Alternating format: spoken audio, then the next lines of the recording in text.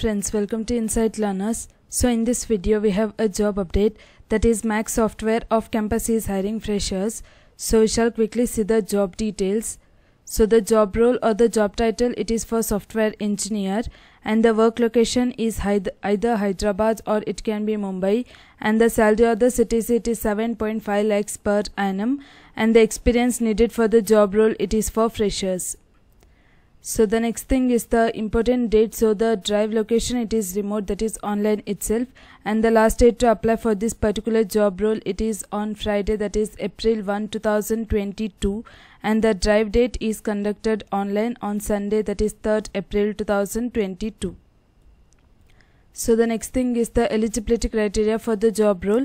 So the education or the qualification needed it is for BE or BTech or ME or MTech graduates are eligible and even MCA graduates are eligible and the stream so it can be CSE, IT or any other circuit branches who has knowledge of coding so they are also eligible to apply and the percentage criteria it should be minimum 60% throughout in 10th 12th as well as in graduation and the batch or the year of pass out it can be 2022 and the next thing is there should be no active backlogs to apply for this particular job role. So the next thing is the different job responsibilities. So you need to gather the software requirements as well as data analytics. So you need to perform data analysis and also application development using azure sql or it can be azure services power bi or you can use machine learning python as well as sharepoint online power apps and chash so these are the job responsibilities. So the next thing is the different technical skills that are needed for this particular job role. So you need to develop and maintain the machine learning modules using python. And also you need to develop maintain as well as enhance the web applications using the latest frameworks and the various technologies and libraries.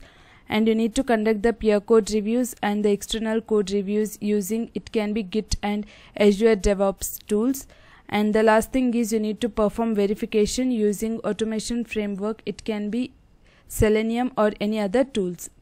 So these are the job so these are the technical skills that are needed for this particular job so then coming to the certificates so like some of the certificates are preferred. So it can be mooc courses from it can be coursera or edx udemy and plural pluralsight or microsoft. So whichever is preferred. So if you have done any of the certification courses it's an added advantage. And also some of the microsoft certifications related to data analyst associate or it can be azure developer associate azure data engineer associate or Azure AI Engineer Associate or Data Scientist. So any of the certification courses, so these are preferred and it's an added advantage to shortlist. So the next thing is the selection process. So the first round there will be online written test. So in which there will be two different sections. So the first section it's aptitude.